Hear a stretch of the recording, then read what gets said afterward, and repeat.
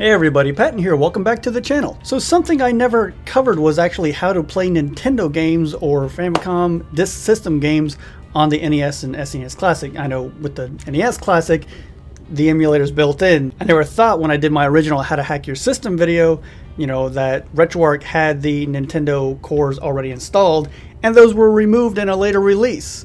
So now we have people with, you know, SNES Classics that don't know how to play Nintendo games. I get questions all the time. How do I play Nintendo games? What are the best cores? So that's what I'm going to go over with today. We're going to go over the NES cores. We're going to go over how to play Famicom Disk System games. So the first step as always is to hack your system. In my description I have a tutorial video on how to do that.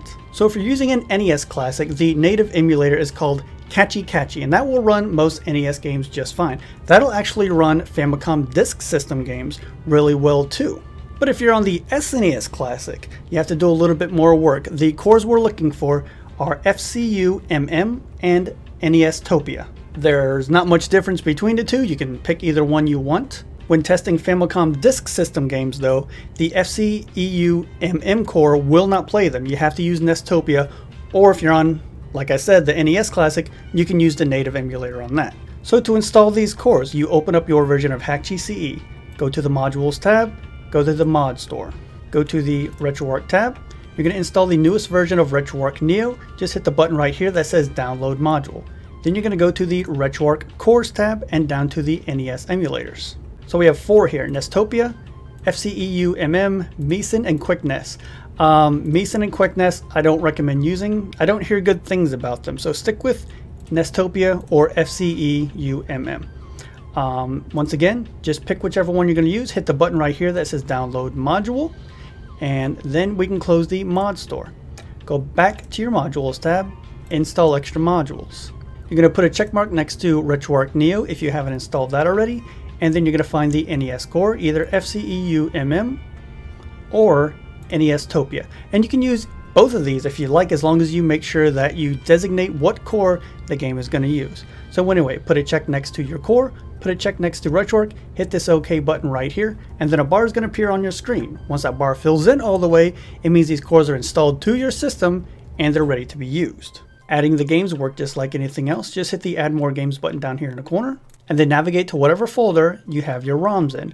We're going to be using Zelda 2, the Japanese version, which is a Famicom Disk System game. So you highlight the game, hit open, and it'll be added to Hakchi. And you'll see here it has its own designation, Family Computer Disk System, with its own icon. So we're to get some box art for it real quick. So like I said, this will run with Nestopia or with the native emulator on the NES Classic. So right here, if you're running it from the native emulator, you'll see slash bin slash clover dash kachi kachi dash WR. This is fine. This will run the game. If you want to run it from Nestopia, all you do is take this out and type in Nestopia. An alternative way to change the command line is to right click the game and go down to select emulation core. You're going to highlight the game on the next screen, select family computer disk system, and you'll see here there's a list of cores.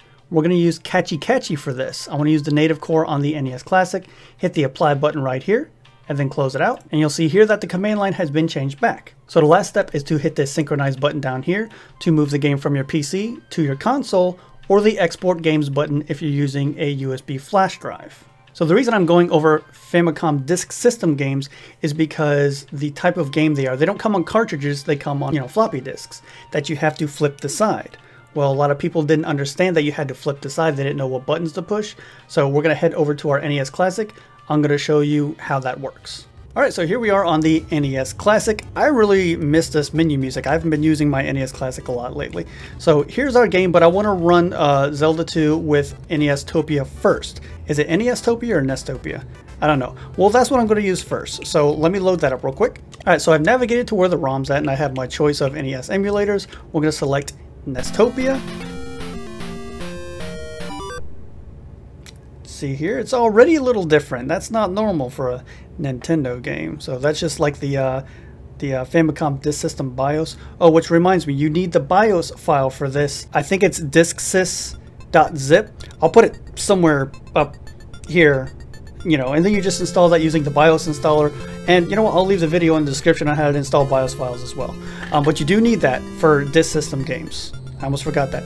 So here's uh, Zelda 2 on the disk system. I'm going to push start. Uh, put in my name, I guess, real quick. Don't know why everything's in English. That's something different with Japanese games. Sometimes everything's in English. Oh, we have to wait because this is a disk system game. There's waiting. There we go. So now we're going to start. Oh no, now we have to change to side B. Well, with using an emulator, there is no size, there's no flipping. So what you need to do if you're using Nestopia, um, you have to hit the L button if you're using a Super Nintendo controller. As far as I know, nothing else will switch that. So that's why, you know, if you're on a SNES Classic, use Nestopia or Nestopia, hit L to change the disc. If you're on the NES Classic, we'll go over that in a little bit. So I'm going to hit L And now we wait. The wait time is kind of different considering, you know, we don't wait on cartridge games. Well, you have to on this. And then our game starts up. Um, yeah, so there's a little bit of differences between this one and the NES version. And we've already seen some already, the disk system BIOS coming in, switching disks. So now I'm going to go back to my NES Classic menu. I'm going to run this using the native emulator, so let's open that up we get the BIOS again. It's saying to set the disk card. So if we don't hit anything using Kachi Kachi, it doesn't go past the screen. If you hit B, then it sets the card. And then just like Nestopia, you know, you get the introduction and then the game should start. There we go. We're going to hit start. I've already created a save file, so we're going to hit start again. Change side B. I didn't touch anything. And went right into the game. But you do have to change the disc in that intro part. And I don't know if it's just me, but this sounds a little quieter than when using Nestopia. So maybe it's just me. I don't know. Anyway, but there's some differences in the disk system version. If you're very familiar with Zelda 2, uh, that water there, that's different. We didn't have that in the NES version. Normally the water is standstill. But here we have some animation. Also, the music is different. There's different channels using the Famicom Disk System version. Um, here's the difference. Those monsters don't look like anything that we know. They're uh, not. They look like balloons. There we go. It's a party. Let's all celebrate. So that's very different. And there's different colors too. You notice there was white and blue. I've also seen red when I was kind of testing this. So yeah, you hit one of the balloons. Well, or not you see that the intro uh, sound effect entering a battle and the battle music in the background is different than what we're used to. There's still the same enemies. Shield sound makes the same noise. Our shield makes the same noise. Let me let me show you something. So when you hit an enemy shield or you hit like a block like this, this is the sound it makes. That sounds a lot louder than everything else too. I don't know if that's you know, the normal sound and the background music just isn't very loud using Kachi Kachi, but, you know, it's there. You know, when you get hit, um, sounds different, all that weird stuff.